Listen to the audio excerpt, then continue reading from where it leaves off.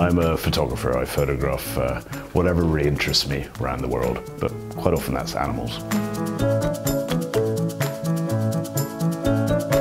My favorite animals are elephants for their intelligence and majesty, and polar bears for their strength and fortitude and adaptability.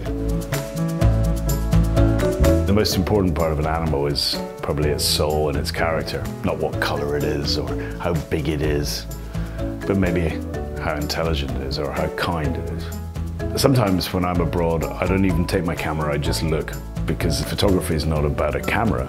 Photography is about you. And you are brighter than this camera, so you just use this camera to help convey what you're thinking or feeling or seeing.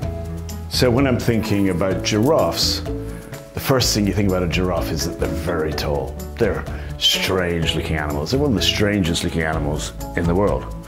And they look at you, but they look at you down on you because from their long necks, they're always looking down. And this is a big group of giraffes.